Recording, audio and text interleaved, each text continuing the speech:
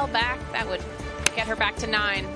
And here is Linn Grant, with whom she was tied. Good start for Linn today. This was at five. Presented by Versa from Odyssey. And this was Linn for birdie at a par three. Yeah, she forgot about the par threes there. She mentioned you got to birdie the par fours, but she can birdie the par threes as well. Ideally, you want to avoid all the bunkers, the bunker down the left, and then the through bunker, which you can easily reach. And this is tight down oh. the left oh. side. Another really lucky bounce.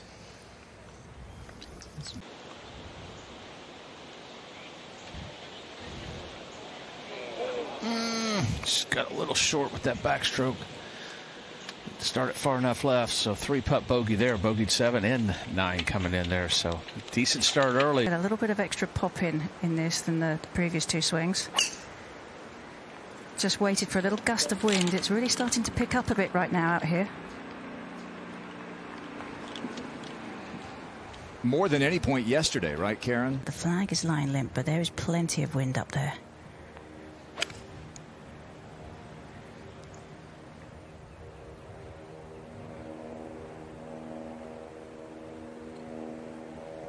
No. A wonderful golf swing.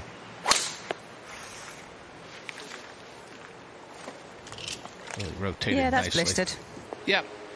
Oh my, what a kick, what a roll. Look at this thing. Beautiful tee shot. Got a chance for birdie here. She's going to be a, a, fixture on leaderboards for, for many years to come out here. Just just super talented player, and uh, I know that Suzann Pettersen's exceedingly happy about having her around now for the European team in the Solheim Cup. And then I had a little slip up on the seventh hole, the par five. And it's just been kind of pretty quiet ever since, just as that wind really started to pick up, making it difficult out here.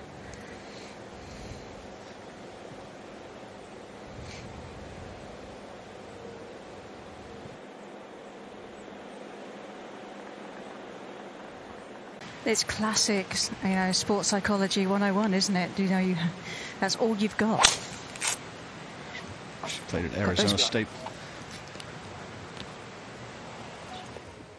That'll work. Oh, that would.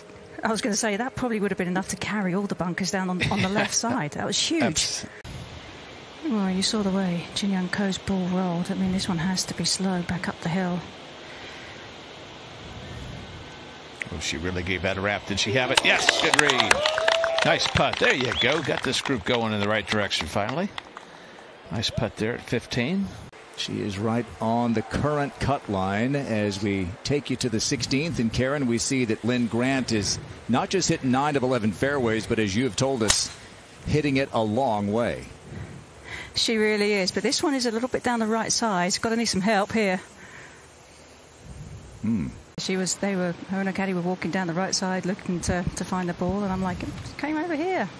This is an 8 iron from 159 we talk about angles, you couldn't have a more perfect angle, Karen. Nope. taking advantage there of a good break. Well, not only that, but if it kicks right the same amount it kicked left, it's out of bounds. There you go. Instead, she'll walk away with a tap in par. Finally, here in the U.S. and trying to win for the first time on the LPGA Tour. Uh, they can really be sneaky if you if you lose your concentration a bit. Yeah, that speed, it's not going to move much, but good par, I guess. I know she wanted to make birdie. Slope of the greens with the speed, with your intended speed. Tee shot for Linn Grant at 18. Ideally, you want to avoid all the bunkers, the bunker down the left, and then the through bunker, which you can easily reach. And this is tight down oh. the left side. Another really lucky bounce.